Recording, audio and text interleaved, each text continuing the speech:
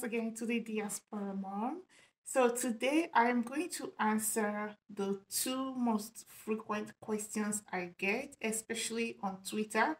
So these questions came a couple of times, like so many times uh, to my inbox and I couldn't reply them, you know, one after the other. So I decided to make a video on them.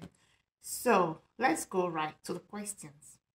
Before I continue guys, please don't forget to subscribe to my channels and click the notification button so that whenever I post any new content, you will always get an alert. And I'll continue to bring you the juicy, juicy content. So the first question is, how can I move to Finland with my family? So the easiest way to move to Finland is if one of the family member, for example, the spouse, your spouse already resides in Finland and holds a resident permit either as a student or as a permanent resident.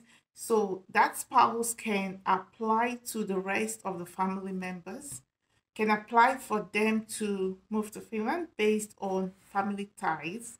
And usually it, the application is faster and cheaper online and you use the Enter Finland uh, application form to apply based on family ties. Of course, there are lots of rules and guidelines uh, that follows, um, yeah, which I will talk about in my next video. But right now, I'm just trying to, you know, point out to you the ways you can move to Finland.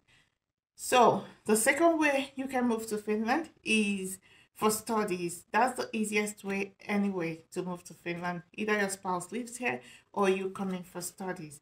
So if none of the spouse already resides in Finland and one of the spouse abroad gets gains admission into in either Finnish universities to study either bachelor's degree, master's, PhD, whatever, he can apply for resident permit to come with all the members of his family, also based on the family ties. So that visa is usually granted to him if everything falls in order. So that's about the easiest way to move to Finland if none of the spouse already is residing in Finland. And of course, another way you can become a resident in Finland is if you seek asylum in Finland, but then you have to already find your way to Finland before you are able to seek asylum.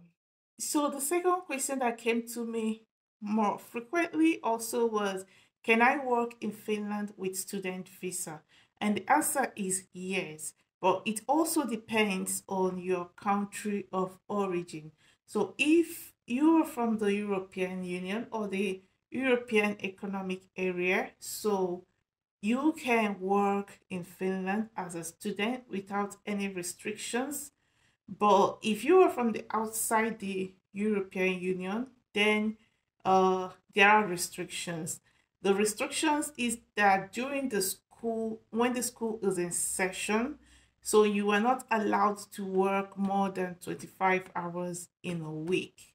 But this doesn't mean that you know it's not followed religiously that in this week one you worked more than 25 hours or week two or week three but it happens that when they calculate your working hours in the whole section the af- the average does not exceed 25 hours a week. So you can plan your work anyhow you want to plan it but let it not exceed the 25 hours limit a week because they think that this might affect your you know participation in school and you need that participation in, in school. You need to get the required credit limit to be able to renew your visa. So if you're working too much it's going to you know affect your studies and it will be a little bit more difficult for you to renew your student permit so,